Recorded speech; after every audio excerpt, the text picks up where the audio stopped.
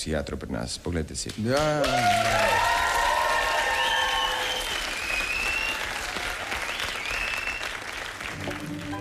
Lepo zdrav, moje ime je dr. Pavel in sem psihiater oziroma terapeut. Jaz se počutim tako, bi rekel, udrinjenega. Uh -huh. Tako, da, da sem, kaj sem, da sem neviden. Edino, kar me recimo v zadnje čase moti, je to, da ljudje kar naprej jamrajo.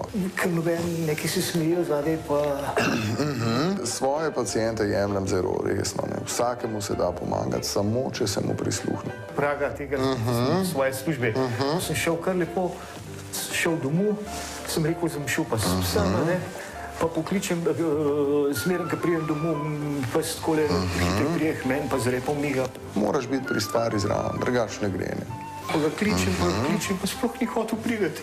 Skozi sem ga mogel v bistvu prav uh -huh. na silo privezati, pa sva šla pa v Tivoli. Uh -huh. Sva šla v Tivoli, uh -huh. No, ta poklic veste, ima tudi kar nekaj uh, finih lastnosti, recimo spoznaš kar nekaj uh, znanih oseb. Recimo, prejšnji teden sem igral šah uh, z Napoleonom.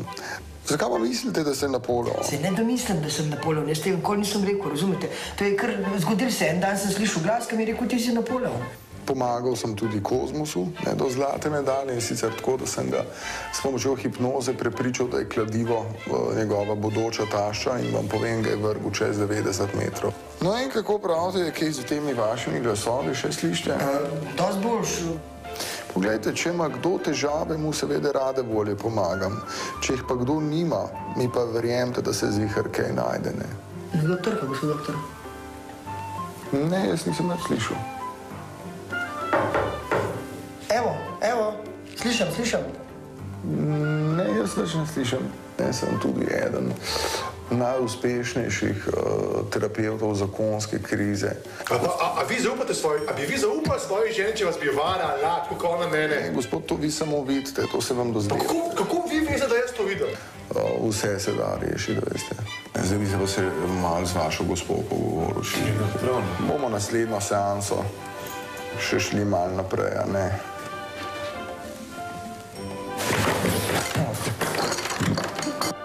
Imate pa težave z erekcijo, ne?